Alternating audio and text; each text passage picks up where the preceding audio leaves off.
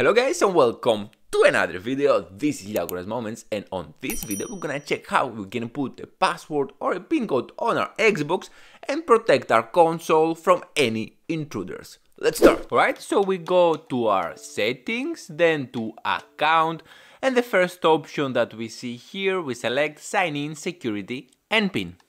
First of all I have here selected the instant sign in option for my Xbox. That make it just easier not to have to put a password all the time you open your Xbox to connect to your account. If you don't want to sign in automatically, press on that and then select stop using instant sign in. And every time you open the Xbox, you will need to sign in to your Xbox account. For more customized options and to change the no barriers option that we selected, let's go here where it says change my sign in and security preferences. Here the one I have selected is no barriers, but these allow anyone to use my account, change settings and even buy games from the store by using my card without any extra step. Not very smart to have this option enabled if you have kids or friends visiting your house that might use your console. The second option we have here is to set up a PIN that Xbox will ask you every time you want to try to sign in, change the settings or buy something. This is a very good security measure to apply and you will need to put your PIN code when you open your Xbox and you need to sign in when you change some settings and when you buy something in the Xbox store. The third option is the most strict that they have and is to lock down your Xbox. And basically you'll need to sign into your Microsoft account anytime you want to change something on your Xbox. If you don't want other people to use your Xbox, of course, this is the way to lock down your Xbox. And last option we have here is the custom, where you can customize everything separately. First option here is to save your Microsoft account credentials.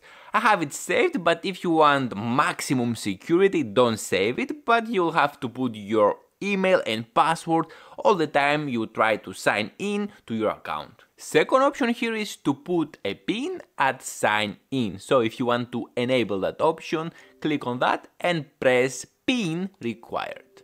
This will cancel the instant sign in that we had enabled before and we will need to add a pin.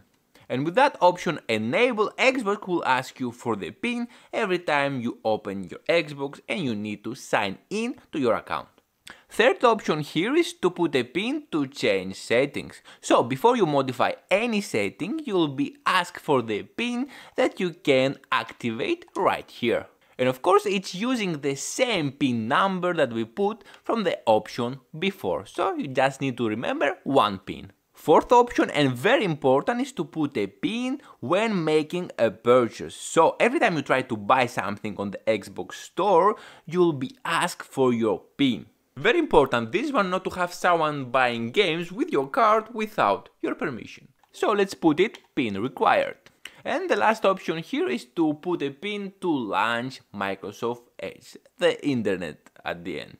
If you need that option, you can enable it here. I believe to use a custom security setting is the ideal and I will personally use a pin code for changing setting and making a purchase. If you lock down your device, maybe it's too much and you'll get tired of putting your Microsoft account password all the time when you sign in or making some changes. But if you think it's necessary for your security, then of course do it. For an extra security step, you can remove your card details from your Xbox and prevent any unwanted purchases. It's actually amazing how easy it is to buy games when you have all your details already saved there. So if you want to remove it, check the video right here.